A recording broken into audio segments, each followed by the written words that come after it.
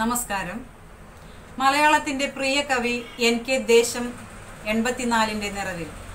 കൊറോണയുടെ പശ്ചാത്തലത്തിൽ കാര്യമായ രീതിയിൽ ജന്മദിനാഘോഷമില്ലെങ്കിലും കാവ്യാസ്വാദകരെ സംബന്ധിച്ചിടത്തോളം പ്രിയ കവിക്ക് ജന്മദിനാശംസകൾ നേരാൻ തിടുക്കമേറെയാണ്.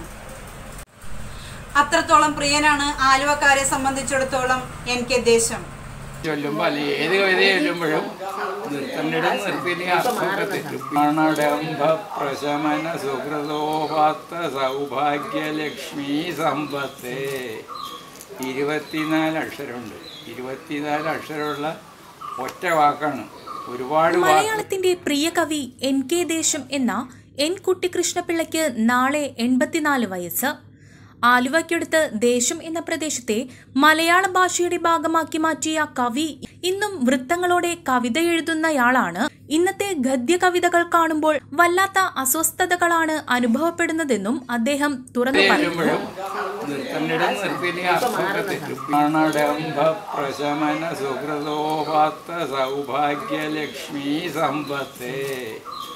ഇരുപത്തിനാല് അക്ഷരമുണ്ട്. ഇരുപത്തിനാല് അക്ഷരമുള്ള ഒറ്റ വാക്കാണ്. ഒരുപാട് വാക്കുകൾ ചേർത്ത് ഒറ്റ വാക്കാക്കിയത് ഒറ്റ വാക്കതു പണം പണം പണം.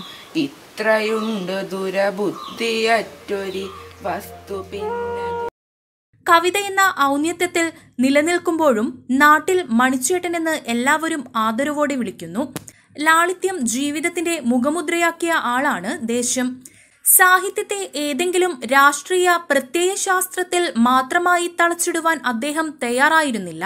അതുകൊണ്ട് തന്നെയാണ് യുവകലാസാഹിതിയുടെയും പുരോഗമന കലാസാഹിത്യ സംഘത്തിന്റെയും തപസ്യയുടെയും പരിപാടികളിൽ അദ്ദേഹം ഒരുപോലെ പങ്കെടുക്കുന്നത്.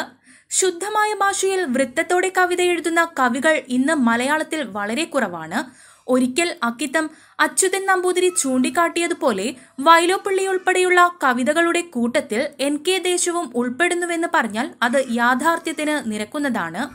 ചെറിയൊരു പുരസ്കാരം ലഭിക്കുമ്പോഴേക്കും മഹാസാഹിത്യകാരനായെന്ന് സ്വയം ഭാവിക്കുന്ന ഒത്തിരി പേർക്കിടയിലാണ് ഈ മഹാകവി പുരസ്കാരങ്ങൾക്ക് പിന്നാലെ പായാതെ തന്റെ കാവ്യസബര്യയിൽ ഇപ്പോഴും മുഴുകുന്നു. ദേശത്തെക്കുറിച്ച് ജയൻ മാലിൽ തയ്യാറാക്കിയ ഡോക്യുമെന്ററിയും പ്രദർശനത്തിനെത്തുന്നുണ്ട്.